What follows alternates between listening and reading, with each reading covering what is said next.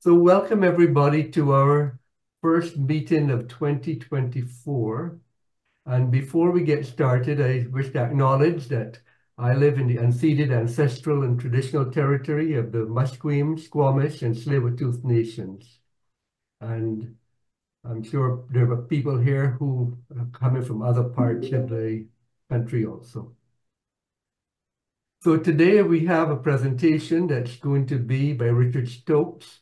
And I'm going to let Richard introduce you himself and uh, then proceed with his presentation. So Richard, uh, could you uh, share your screen with us, please?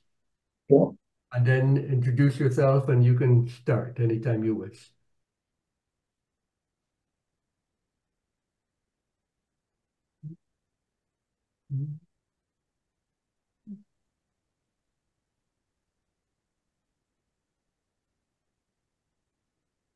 Unmute. Uh, Jesus Christ. It's, What is going on? we, we see you, uh, Richard. You're there.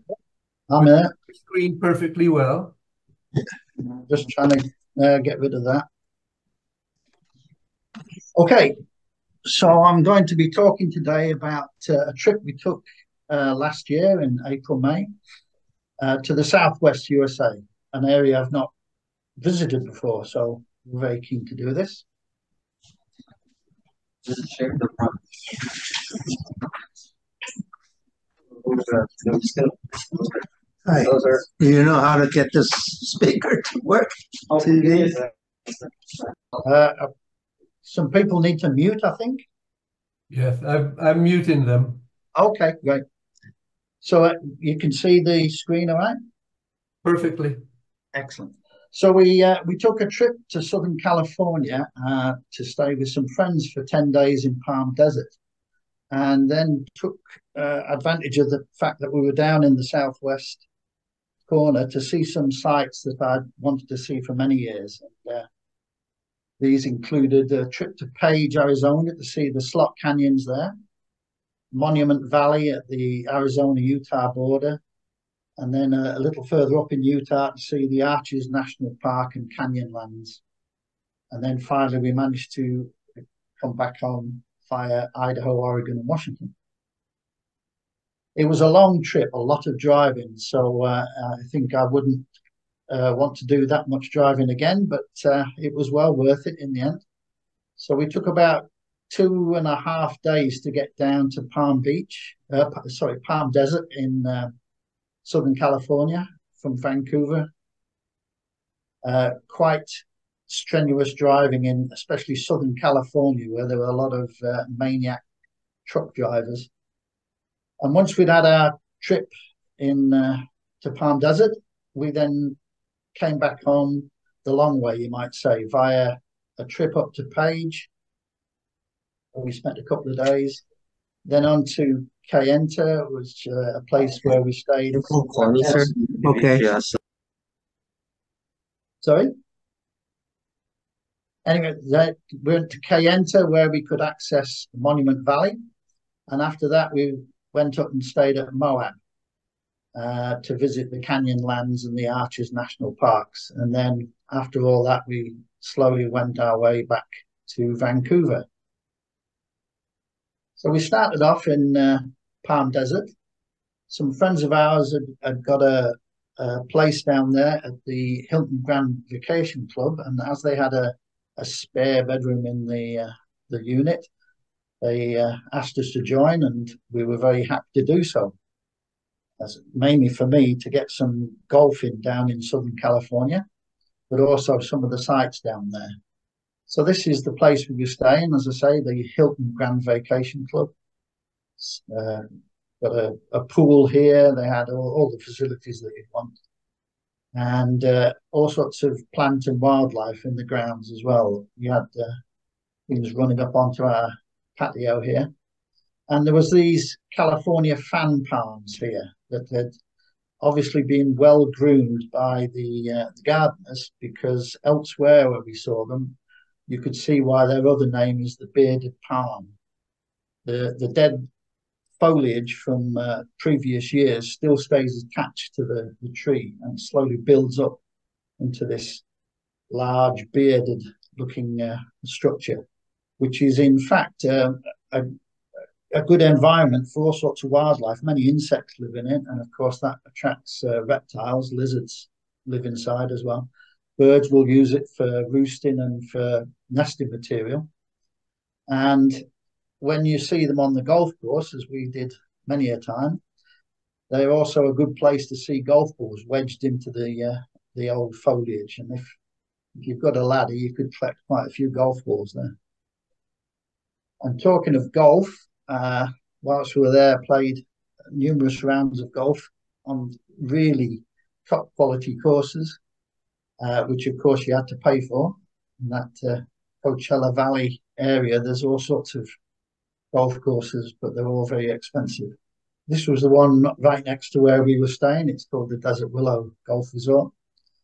Really well looked after and a, a, a pleasure to play at. And you've got something we don't see up here. That we might get crows on the fairway, but down there they get this bird called the greater roadrunner. You can see it there, and this is it blown up one of the birds that I'd wanted to see down there, because of course we don't get them up here. And we saw many examples of it, quite a comical bird. They uh, basically are famous from the cartoons in the old days where there was the wily coyote was chasing the roadrunner all the time, obviously with no success. But they didn't quite get the naming of the bird right. It is not called Phastilus tastius. Its real name is Geococcyx californianus. And it gets its name, the coccyx, refers to uh, the Greek word for cuckoos, and that's because the greater roadrunner is in the cuckoo family. And interestingly, just a side effect, the tailbone of humans is also called the coccyx. And the reason for that is that the uh, the anatomist Galen when he saw the tailbone, thought it looked like a cuckoo's beak and so called it the coccyx. Range. These birds um, are basically found on the ground. They, they can fly, but they do most of their hunting on the ground and they uh, basically feed on lizards, uh, snakes, and large insects like grasshoppers, anything they can get, in fact. Because on one of the golf courses we played, uh, roadrunners were coming up to the uh, patio whilst we were having a drink and searching for French fries. So they'll obviously take anything. And they're a sort of interesting bird in that they, they spend a lot of time static just looking for prey. And when they see it, they make a mad dash for it really fast.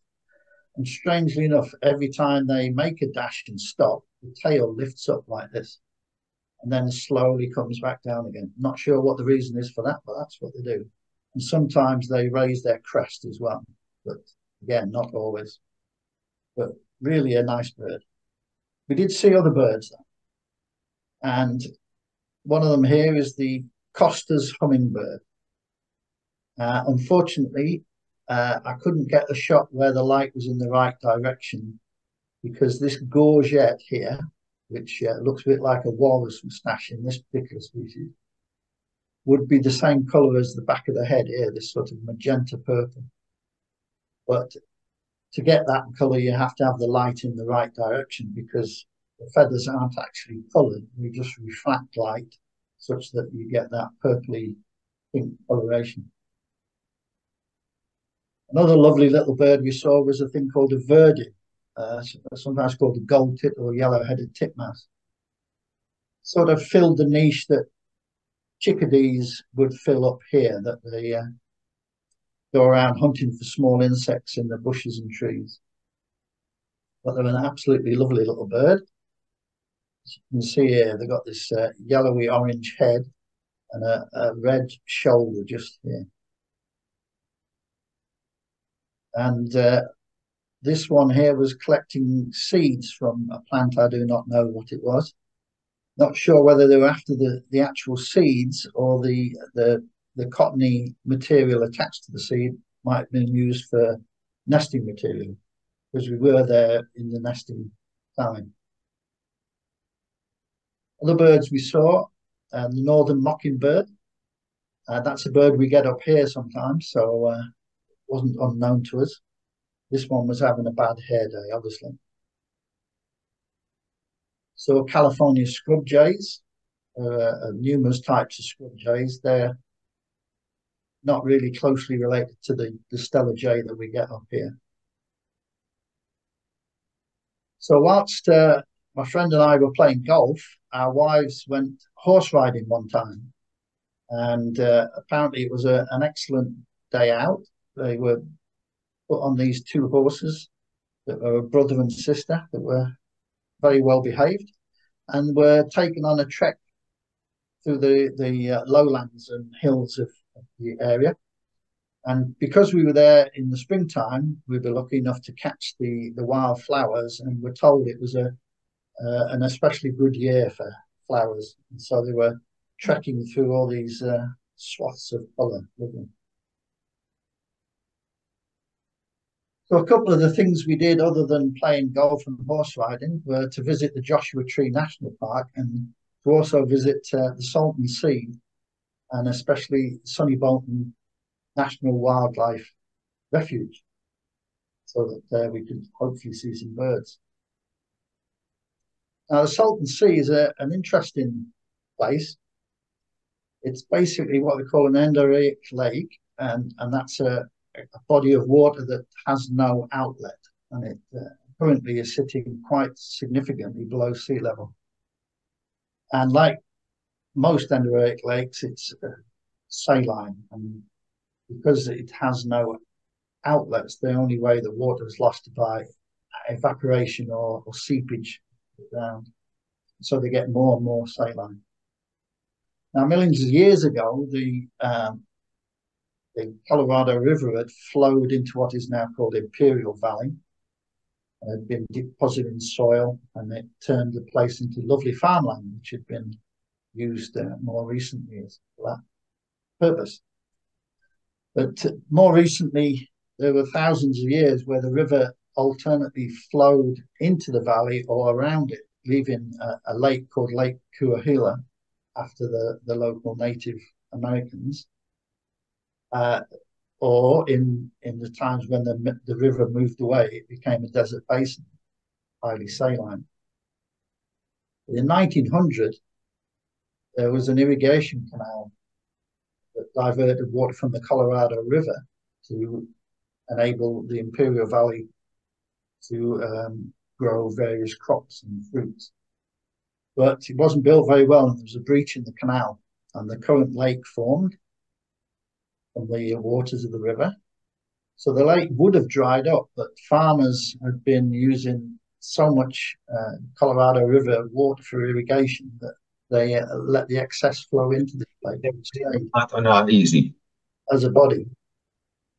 So in the 50s and 60s, the area was a resort destination and well populated, and communities grew up. Bird watching was very popular because the lake had got a, a large population of fish. So, of course, birds on the Pacific Flyway were stopping off there during their migrations to feed on the fish. But in the 80s, contamination started running off from the farms, and they weren't. Uh, they were being more frugal with their irrigation so that there wasn't so much runoff of uh, excess Colorado River water. And this uh, runoff and contamination spread wildlife diseases. Uh, lots of die off of birds and fish. So basically, the tourism has been drastically reduced. So these postcards from the 50s and 60s show what a, a resort it was like, but this is more what it's like now. This huge park, car park that we visited. Here, you actually do see some vehicles. We were the only vehicle stopped here going to the visitors centre. So it's it's basically a dead sea now and no tourists at all. Though there are efforts to try and revive it. And part of that is there's a wildlife refuge that was started up and named after Sonny Bono, who was a, famous pop star in the 60s in part of the Sonny and Cher duo. He later became a politician. First, he was mayor of Palm Springs and then became a member of the House of Representatives. And he's, he would champion the restoration of the Sea, but uh, unfortunately died in a skiing accident in the 90s. So uh, obviously not doing that anymore. Whilst we were there, though, we were lucky enough, uh, the, the local ranger pointed us toward a, a, small colony of burrowing owls, which is a, a, bird I've wanted to see for many a year. They are present in BC, but they are extremely rare and protected. So it's uh, I've never managed to see one up here. Down there, we were directed to some uh, farmland down a, a, a little access road, and we saw eight burrowing owls sitting around their burrows, which either they've dug themselves or they've taken over uh, some rodent burrow, and that's where they nest. And although they do hunt through the night, mainly for small rodents, they will spend this a large part of the day sitting on posts, um, looking for who knows what tourists. Perhaps this guy's checking us out. This one's looking for possible predators high up in the sky. But lovely little birds. We also visited Joshua Tree National Park,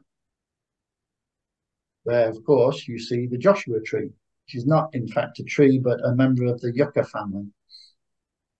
We were there in spring. Again, you could see uh, flower heads here.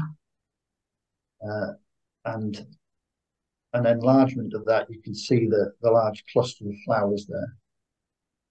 They're strange plants. They grow in all sorts of weird and wonderful shapes and are all over the park.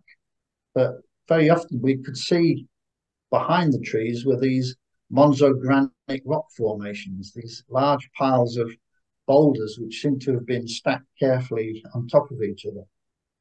Another view of it here, which shows the the piling of the rocks, which seem to be on um, on top of, carefully placed on top of each other.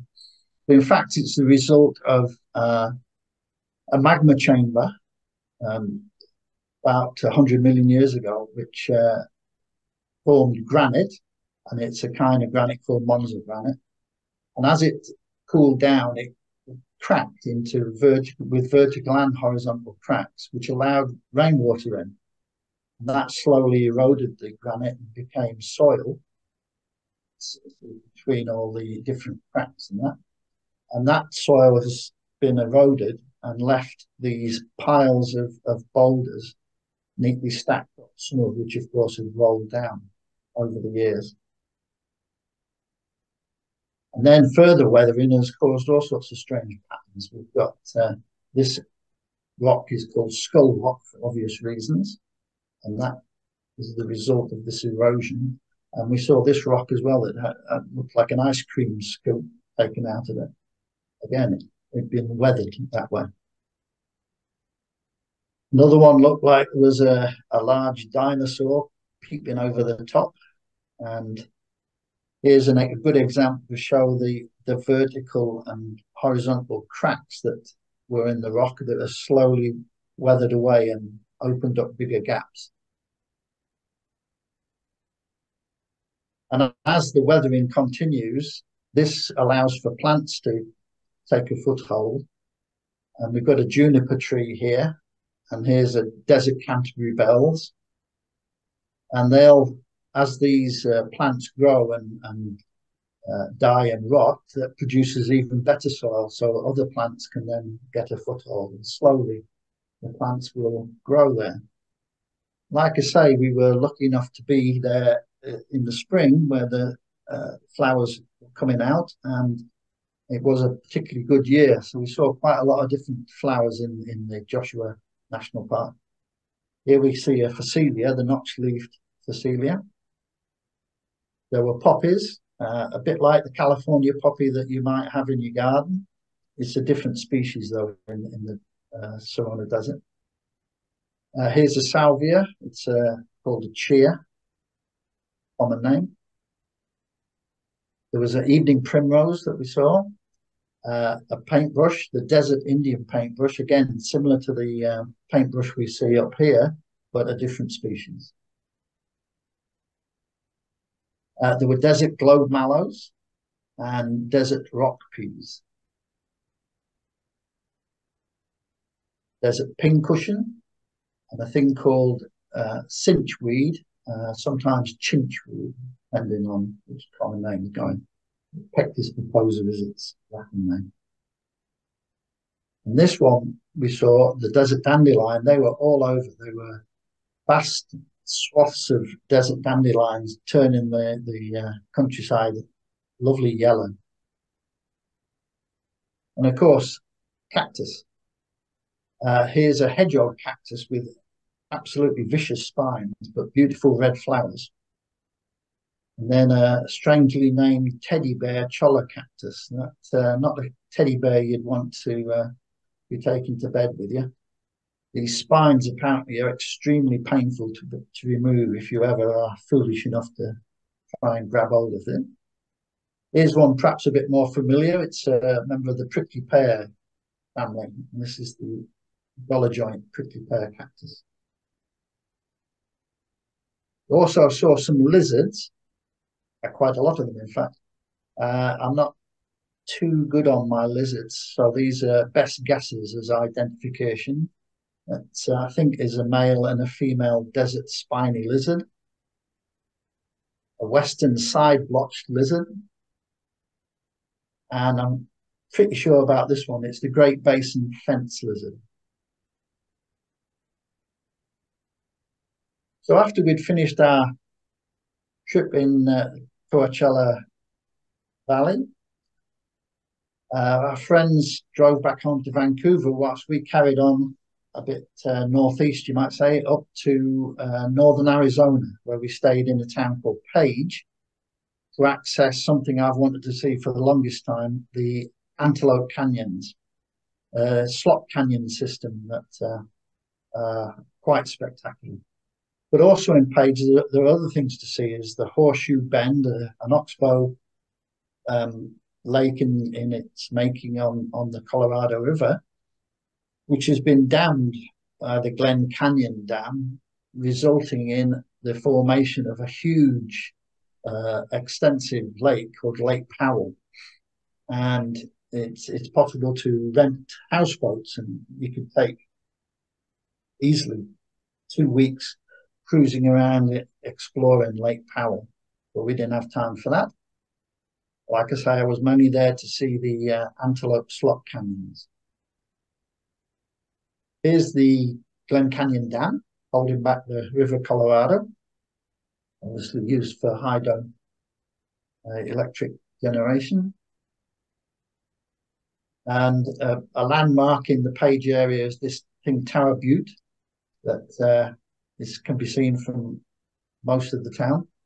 And an overlook lets you see down to this uh, houseboat rental station, marina, mean, uh, where you can pick up a houseboat and have a holiday on Lake Powell. Here's a, one of the many, many arms of Lake Powell. Whilst there, we did some birding, of course, as we do everywhere we go. I saw a lovely example of a Bullock's oriole one morning. Bright orange and black bird, lovely. Also uh, stumbled on some turkey vultures in their roost, their overnight roost. We were getting ready for um, uh, heading off for breakfast, I guess. Here's a bird we saw a lot of in the area, the rock wren. Uh, interestingly, it's a bird that you can see up here in British Columbia, and we've spent many hours looking for them in the Okanagan area and had some success to find them, but they're very uncommon in BC, whereas down there they were very common. We saw them everywhere we went, and were, they were quite close, so we could get good photos of them. Uh, another bird only found in the south, not up here, is the white-winged dove. That was good to see. And here's a strange thing that we found. As you might know, most bees are not um, uh, colony formers, they're solitary, uh, where the, the female, the queen, will dig a nest pack food into that nest, lay her eggs on it, and then and leave the grubs to hatch and develop on their own. But some species uh, will form these massive aggregations where the, the solitary bees dig their nests very close to each other. It was like a whole array of little volcanoes, quite interesting. We went to see the Horseshoe Bend, the um, Oxbow Lake in the formation. Quite a spectacular sight. But the main thing I was there for was to see the Slot Canyon system there. And it's uh, they're all located on Navajo land uh, in the Page area. Uh, there are six separate scenic slot canyons in that area.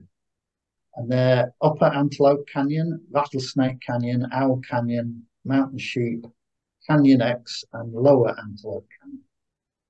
We visited two of them, the Upper Antelope Canyon, which is the most accessible. It's uh, entrance and length are at ground level, so it's quite easy to do that one. No climbing involved.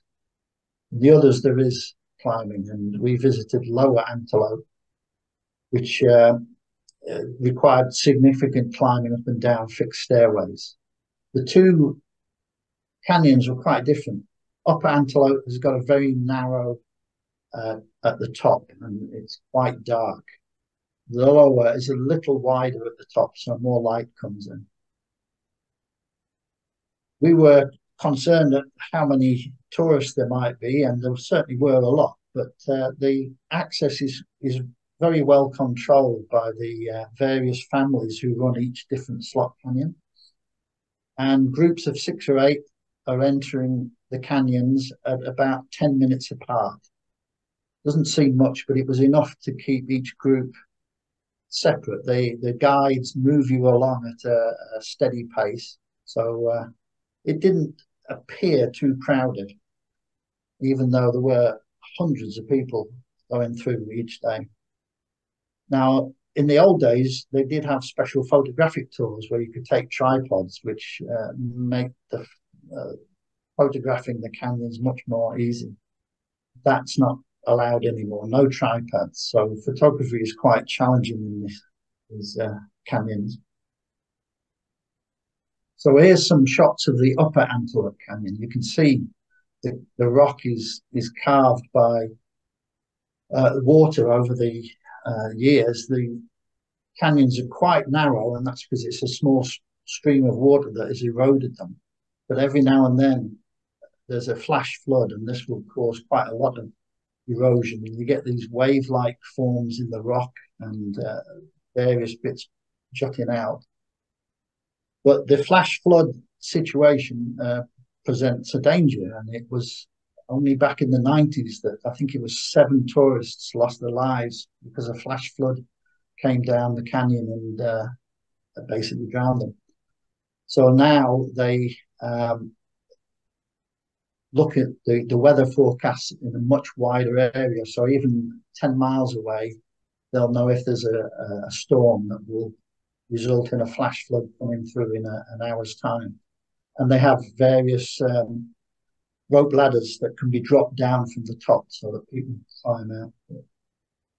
Anyways, the waters have carved these beautiful formations, and because the light is coming in uh, very much in, in, a directional way because of the way the sun moves over the narrow opening at the top, you get all these color variations depending on whether the rocks are in shadow or direct light. Purples, pinks, and oranges and all sorts of wonderful formations. So here's a, a, a bit with a, a, golden glow in it, but here, it, because it's more in shadow, it seems a, a more brown color. But you can see all the different layers of sedimentation that formed the sandstone rock in the first place. And here's a sort of horse's head here. Here's a, a, a wave formation in orange. Another protrusion sticking out. This one gives you an idea of how deep the canyon is. Here, here are the people are ahead of us. And you can see here's the daylight up here. Right, they're about um, 30, 40 meters deep. And here the guide throws some sand up and it comes trickling down so you can get a photo. I'm, I'm sure this is the only example of this photo you've ever seen. Absolutely unique. Some more golden colors. Again, this sort of wave formation that, that is throughout the canyon. Absolutely fantastic thing to visit. There's some more different colorations, purples through pinks. Purple and gold. And here, fortunately, this this uh, log here is keeping the, the two sides from meeting and crushing us all, so that was good to see. One of my favourites here, this sort of purple and pink wave. And then we visited the next day the lower Antelope Canyon. As you can see, as you enter this one, you, are going down these uh, steep steps. Apparently, uh, these these steps have only been installed fairly recently, and it used to just be rope ladders that you had to climb down. So I'm not sure if I'd have managed that one. A bit wider, so a bit more light coming in. Here's another lovely wave formation. This is my favorite one. Here's our group. Uh, you can see this rock formation sticking out.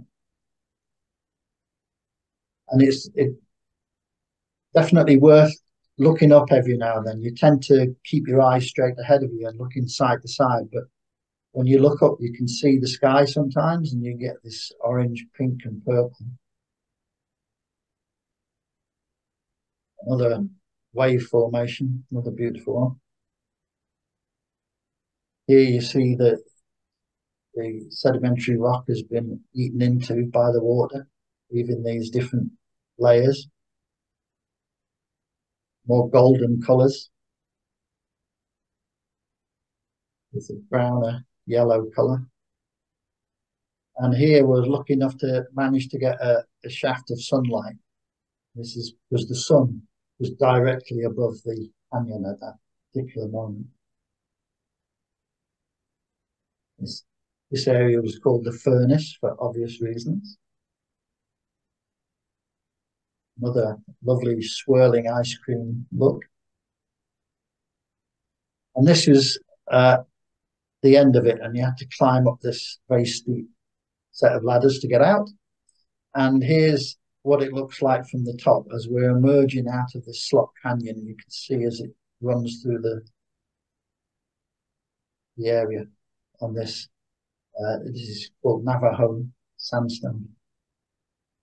So having uh, managed to see the slot canyons, we then moved on to see Monument Valley, which wasn't far away at all, uh, just about an hour, hour and a half's drive.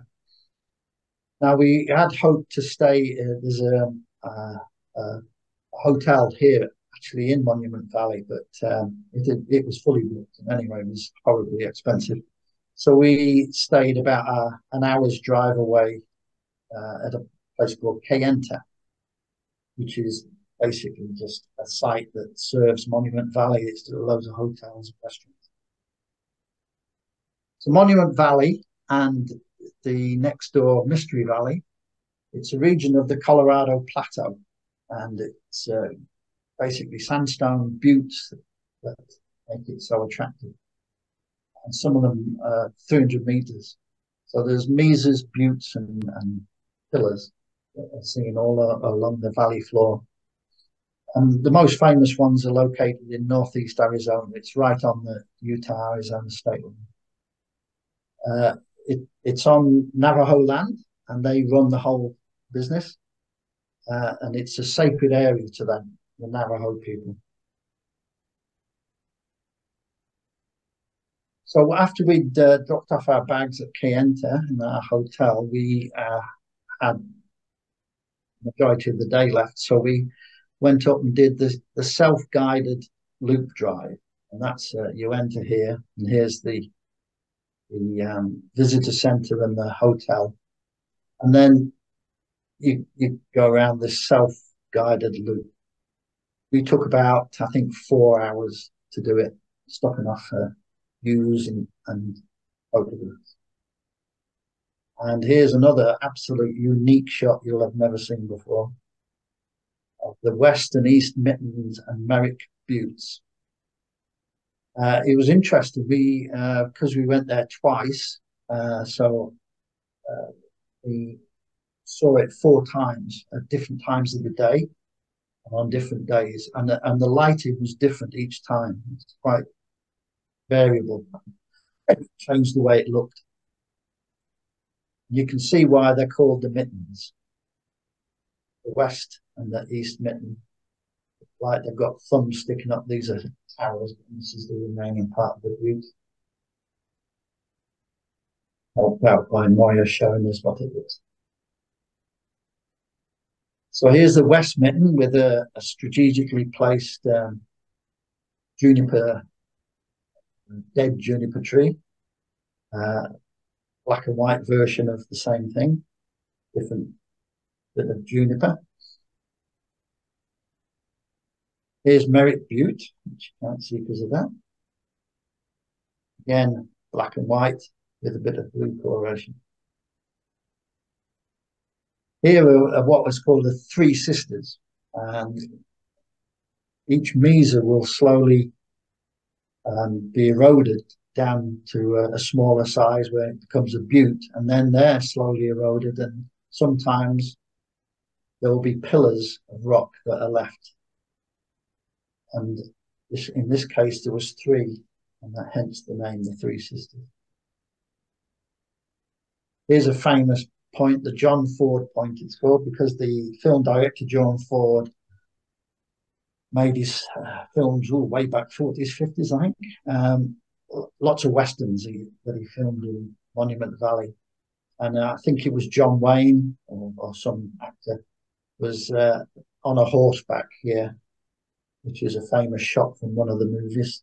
I know, Stagecoach or something like that. I couldn't get John Wayne. I had to make do with this tourist instead. And we were taken to one place. This was the the second day on, on the private tour that we took a guide. Took us to this place called the Eagle, uh, which was a, uh, an arch with a, a pothole uh, in the in the top of the arch area, and you might, if you follow the line here, you might see why it is called an eagle. There's the beak, and there's its eye. And you could only see this if you lay down on your back um, on, on the rock and looked up quite a sight that suddenly appeared when you lay down like that. We're also taking to a place called the Totem Pole here.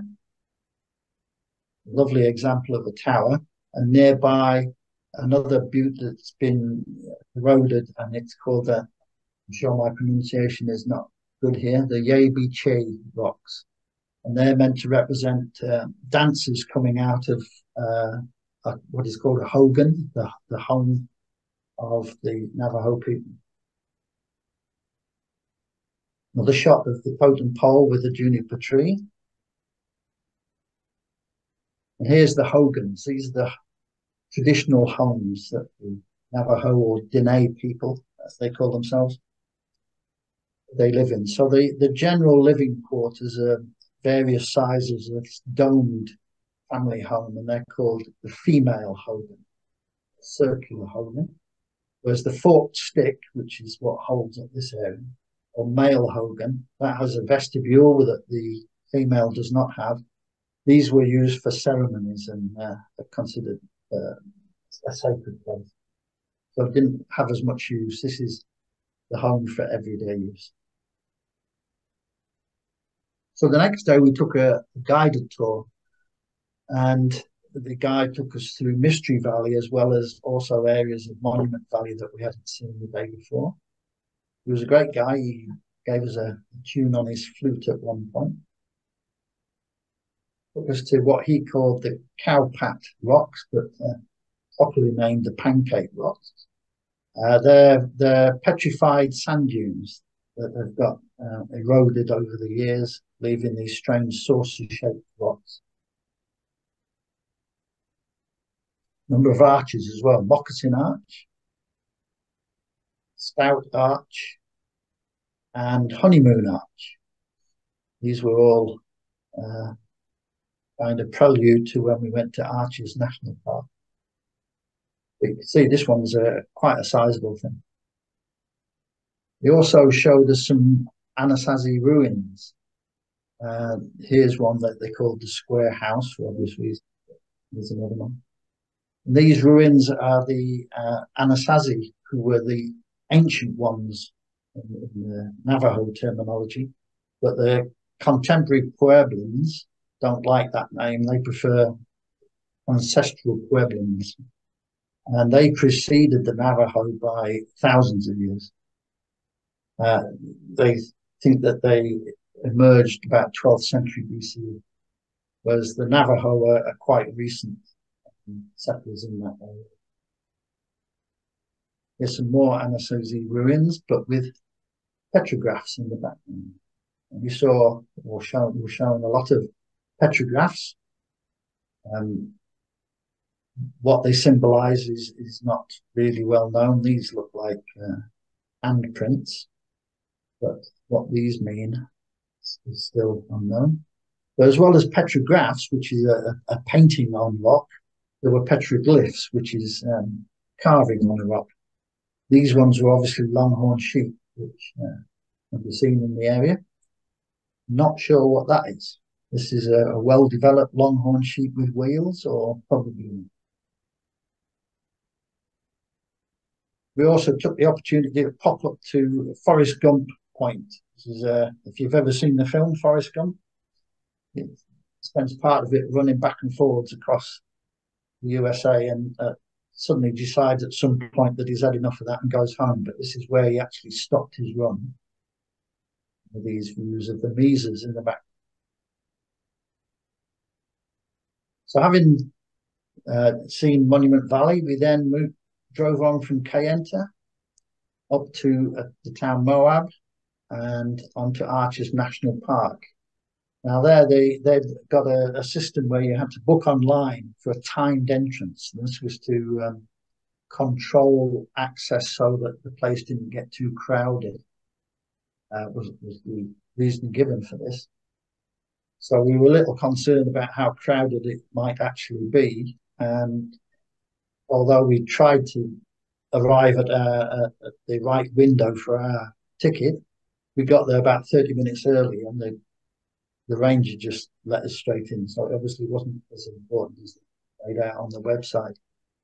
But it was still quite a crowded um, park, that's for sure, but not too bad, all, all things considered. And uh, we then, after seeing the Arches Park, stayed in Moab for the night and then stayed, I went to visit canyons. So in Arches Park, there are all sorts of rock formations and obviously that. Uh, this this rock formation is called the Courthouse Towers.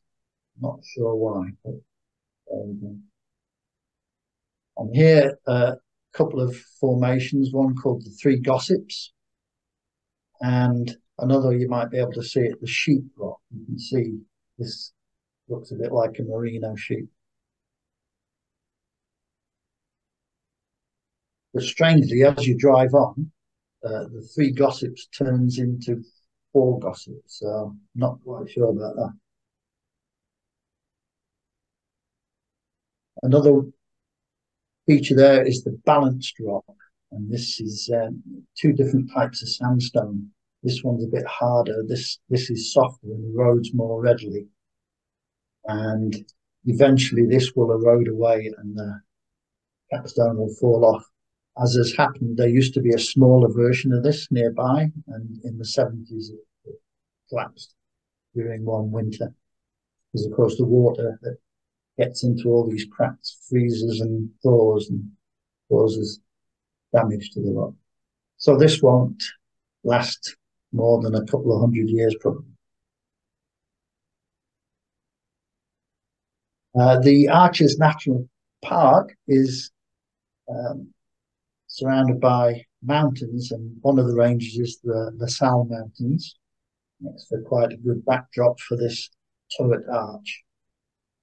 Which, interestingly, when you get to the other side of turret arch, changes colour completely. All depends on which way the sun shining at the time. So you can see this is quite a significant arch, and it's got another pothole here. And if you get the sun behind you, get quite a good effect. Nearby, we saw some uh, some young guys rock climbing. I was quite surprised in the national park that they'd climbed up this pillar and then abseiled down. Uh, this guy didn't even bother with his climbing boots. And when they got to the bottom, we were having a chat with them. And they said it, it's absolutely easy to, to go climbing in the park. You, you don't, you know, you should, you should get your permission as you enter. But, uh, and you, certain areas you can and certain areas you can't. But said it's quite a, a popular climbing area. That was a bit of entertainment for half an hour. Uh, also across the way from the uh, turret arch, is this thing called the parade of elephants. You might be able to certainly see the lead elephant here. It's quite obvious. Here's its trunk head, four legs, hind legs, body. And then further on is the north window and south window, sometimes called the spectacles.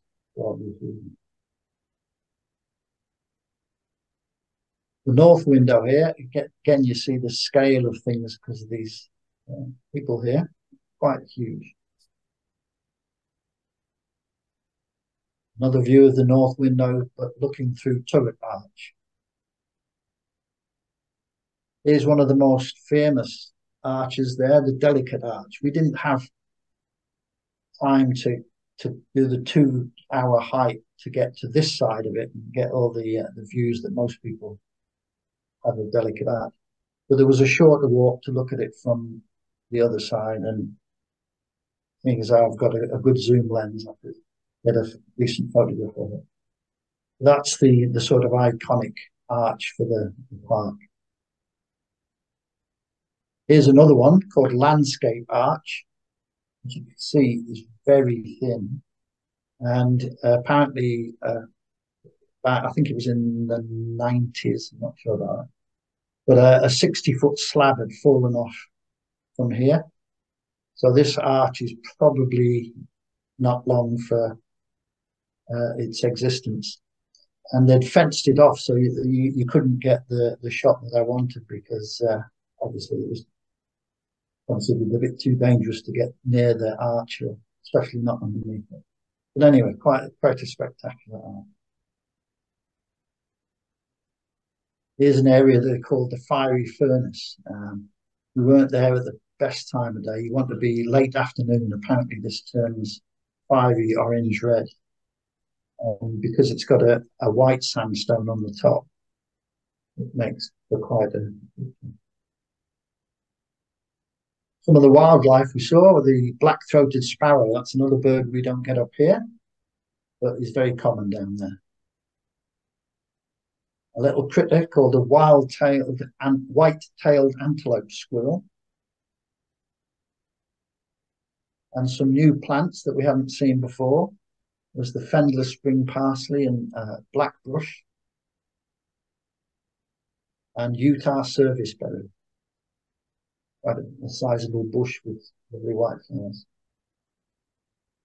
We then went on to the Canyonlands the next day and must say weren't that impressed with them uh, apart from these viewpoints. But that would probably be because the Canyon Canyonlands area is mainly for hiking and uh, uh, four-wheel drive treks. Uh, but nevertheless, the half day we had there, we, we could see some of these lovely overlooks from uh, you're on top of one of the mesas and looking down into the uh, in this case, at Dead Horse Point, you're looking at the Colorado River. And you've got this lovely panoramic view here. And nearby was a what's called a Uinta chipmunk.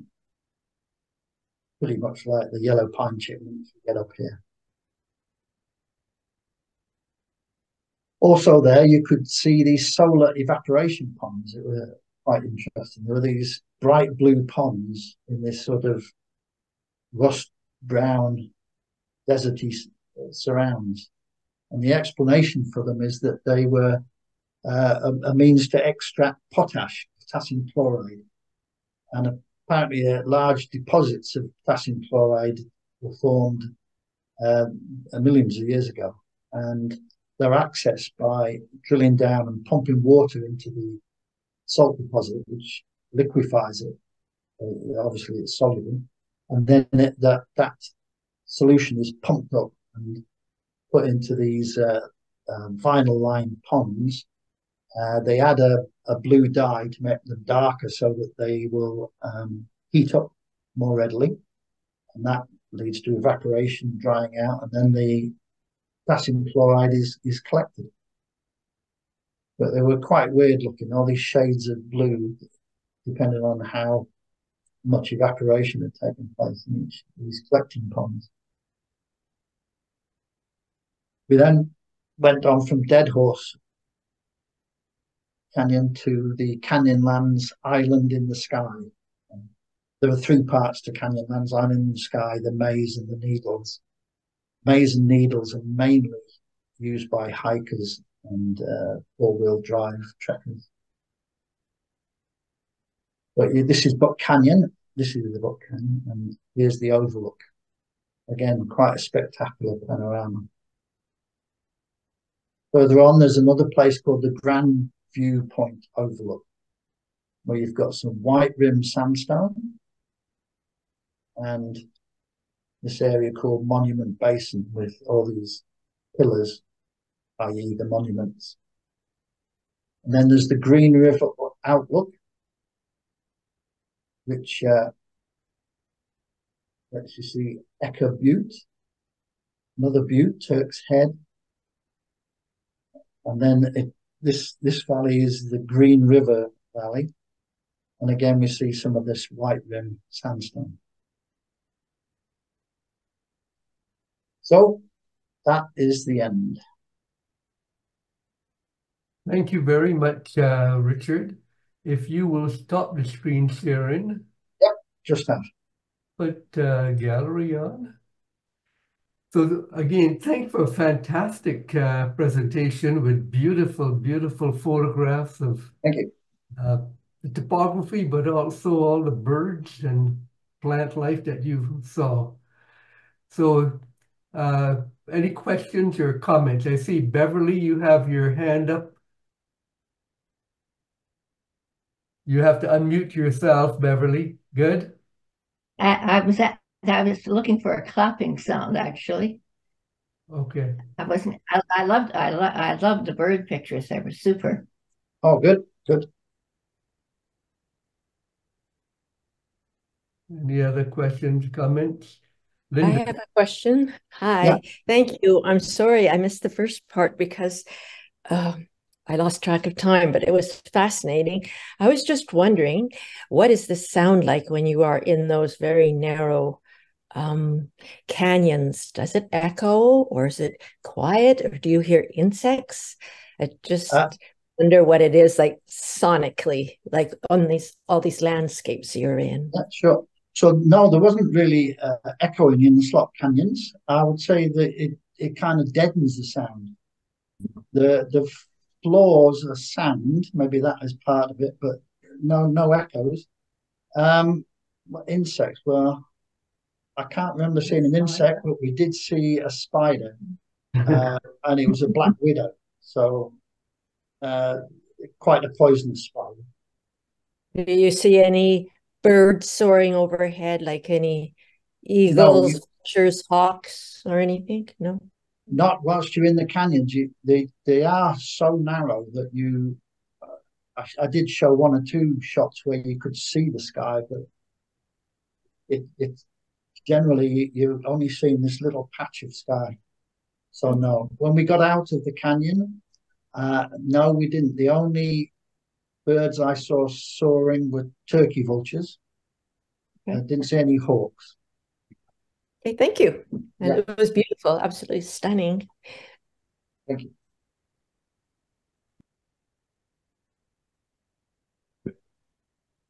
Any other? I, I can't see everyone on my screen, so you can just keep in and talk if you wish to. Go ahead. Uh, h- hello, can you hear me? Yes, we can hear you. Yes, thank you, Richard. That was wonderful. I grew up uh, near some of those things, but you Oh, yeah. saw much more than I did. The uh, what you call the well-groomed palms. Well, I'm in the uh, radical sect that does not like to see them groomed at all. Oh, Uh, it's it's really a big racket uh, all over that area to have them uh, trimmed very often. It's totally unnecessary. Uh, the uh, the plant uh, spelled C H O L L A is a Spanish word, and it's pronounced choya. there we go. My pronunciation too good. I'm sure I got all the Navajo words wrong as well. uh, you said that those uh, uh, deep uh, canyons were carved by water and flooding. Mhm. I believe that I've heard that it's also the wind. Oh yeah, yeah. The wind certainly plays a a a major role. Yeah. The uh, black and white uh, picture uh, had a really nice blue sky in there, so I don't know how you managed that. Oh, that's a cheat. Um, the program I use, uh, Luminar Neo, when you turn a, a photograph uh, from color to black and white, of course, the original is still really color. So you can change the saturation on different colors. So if you oh, put the saturation on blue on the black and white conversion, the sky becomes blue. interesting, interesting. And and uh, I, this next thing, I think you probably were joking when you said that the log was keeping the two sides Yes. apart. Yeah, Absolutely. so good, good. You were joking. Now, when we were when we were kids growing up in Southern California, they would uh, the adults would warn us about the flash floods. This is a, I never saw one, but we were always warned. Oh no, over here you have to worry about the flash floods. So we were always looking around and listening for any flash floods, but we never saw or heard one. Well, I don't, it'd be interesting. I don't, I don't know what happened, but it was only a few months later, or a couple of months later, they had major floods, didn't they, uh, last year in Southern Mhm. California? Yeah. But Yeah. whether they had a flash flood that went through the slot canyons, I, d- I don't know. I didn't see anything about that. Just how things like, well, that, uh, what's it called? Burning Man Festival got absolutely ruined by mud, didn't it? Yeah, yeah, that was northern Nevada, northwest. Yeah. Where I so lived. I wonder if the same uh, rainstorms had caused a, a flash flood through the canyon. Possibly. And lastly, if I were going there, I would stop in and see Slab City. Oh, yes. Yeah. Have you heard of Slab City? Uh, that was mentioned is um, they've got these painted rocks, right? No. Thought that was Slab City. Where the, Oh, the slabs uh, are uh, slabs of concrete from an old uh, military okay. installation where people go there and squat and live there. all right. Oh, is that where all the old car wrecks is? I don't, I've seen pictures, but I don't remember seeing that. But no, we Anyway, uh, we visit. A a lot of, I'd go there for, to, to meet the strange characters because Yeah, that, that sounds reasonable. Yeah. But there, yeah, there was lots of things. I'd love to go back to Utah, uh, Arizona again, and I mean, we didn't get to Zion. but Yeah, yeah. all sorts of things we missed out on. So. So if anybody wants Slab City, it's near the Sonny Bono uh, marker you had on the map. Oh yeah, yeah, okay. Yeah, I was I was Thanks. surprised to see his name down there, but uh, found out why. That he he was uh, mayor of Palm Springs for quite some time.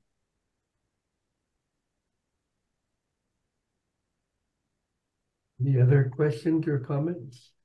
Uh, yes, uh, Richard, I, I enjoyed your presentation every single time. Um, about the Antelope uh, Canyon, Uh, yeah, it's so so so incredibly beautiful. Um, but they were caused. I mean, the forms were caused by waves, by by water, by wind. Uh, so it's but it's it is basically the sandstone. Uh, so do is there any need to protect it? Because sandstone, I don't know, is not the hardest kind of stone, uh, but uh, that's why it can be carved, of course. Right. But um, is there any need to protect it? And uh, secondly, the shapes, do they change uh, every, I guess, thousands of years, I guess, right?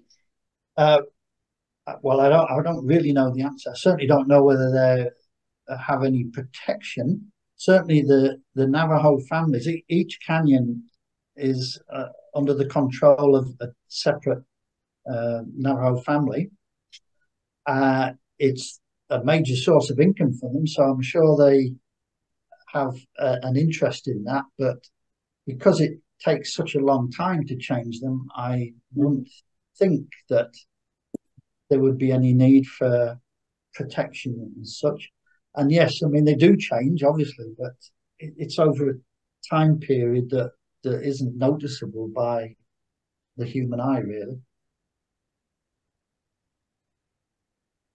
But in a few thousand years, they will be very different looking, I'm sure. Same as in Monument Valley. I mean, the the uh, and the arches, the, some of these um, features will erode and collapse, but not in our lifetime. Helen, Thank you very much, Richard. That was wonderful. Brought back great memories for me. But I wondered how hot it was when you were there because we found it, it was very hot for us. It it was hot. By uh, I'm not, I'm not a person who likes the heat too much, but we found uh, like playing golf was it was very hot down in Palm Desert, and uh, there, there'd be no way you could have walked the golf courses. I thought some people would manage it, but I wouldn't have been at all comfortable.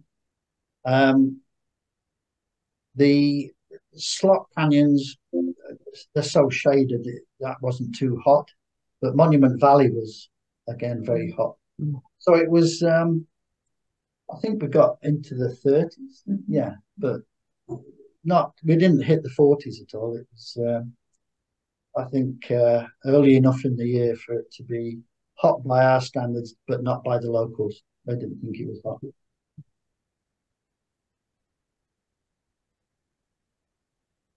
Yeah. Well, again, Richard, thanks for a wonderful presentation. Before we quit today, just to uh, mention that our next talk in February will be on February the 15th. And Don and Lorna Blake are going to talk with a little bit of input from me on a recent cruise down the Rhone River. Uh, both of us did the same cruise in opposite directions, two weeks apart. It just so happened we didn't communicate with each other before, but we did. So we've decided to merge a little bit of our photographs and talk about this together. But mainly uh, Don and Lorna will give the talk, and I'll just chip in a little.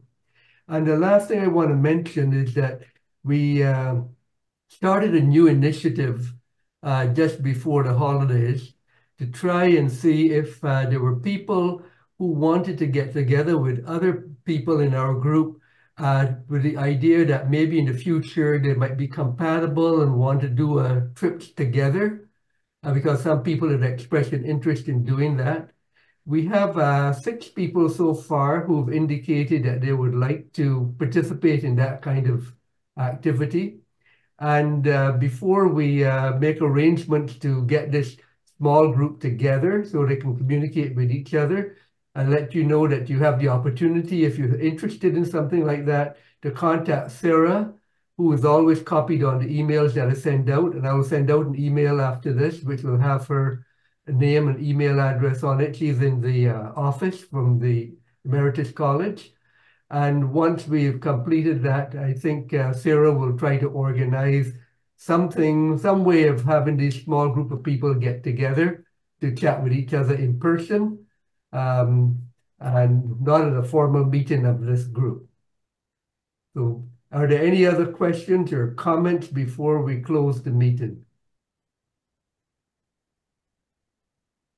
Okay, well, thanks again, everyone, and uh, we look forward to seeing you again in uh, February. Thank you. Thank you. Thank you very much. Bye. Bye-bye. Bye. And-